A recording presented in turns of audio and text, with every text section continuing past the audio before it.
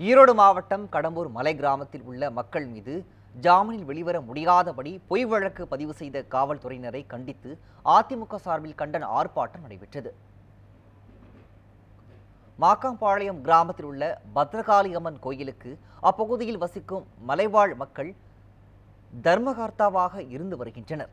இந்த நிலையில் அங்கு வசிக்கும் திமுக நிர்வாகி சார்பில் கோயிலுக்கு புதிய அறங்காவலர் நியமிக்கப்பட்டுள்ளார்.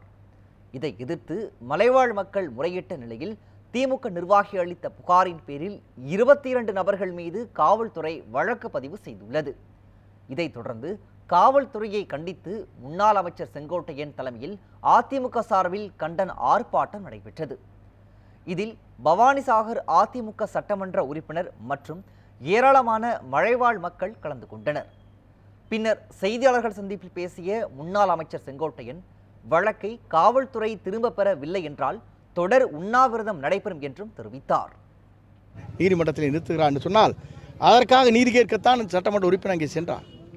சென்றதற்கு பிறகு இந்த நிலை இருக்கிறது. நான் ஒன்றே ஒன்றை சொல்கிறேன். தர்மத்தின் அடிப்படையில் தர்மத்தை காப்பதற்கு சுயநலத்தோடு யார் அந்த பணிகளை ஆற்றுகிறார்களோ தர்மம் எப்போது சாய்க்கப்படுகிறதோ அப்படி சாய்க்கப்படுகிற போது இந்த துன்பத்தை எதிர்காலத்தில் இவள் குடும்பங்கள் அனுபவிக்கும் என்பதை மட்டும் நான் இந்த நேரத்தை தெரிவித்துக் கொள்கிறேன். என்னுடைய வாழ்க்கை வரலாற்றில் நான் பார்த்துருக்கிறேன்.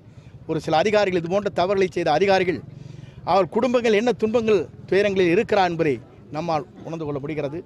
ஆகவே திராவிட முன்னேற்றக் கழகத்தின் ராஜாவுக்கு கூச்சா தூக்குகிற இந்த காவல்துறை இனிமேதாவது மாற்றிக்கொள்ளும் என்று நான் நினைக்கிறேன். அது மட்டுமல்ல இந்த வழக்கை உடனடியாக பன்னிரெண்டாம் தேதிக்குள் வாபஸ் வரவில்லை என்று சொன்னால் சட்டமன்றத்திலே குரல் எழுப்பப்படும். அதற்கு பிறகு தொடர் உண்ணாவிரதம் மேற்கொள்ளப்படும் என்பதை நான் வலியுறுத்தி இங்கே சொல்ல விரும்புகிறேன்.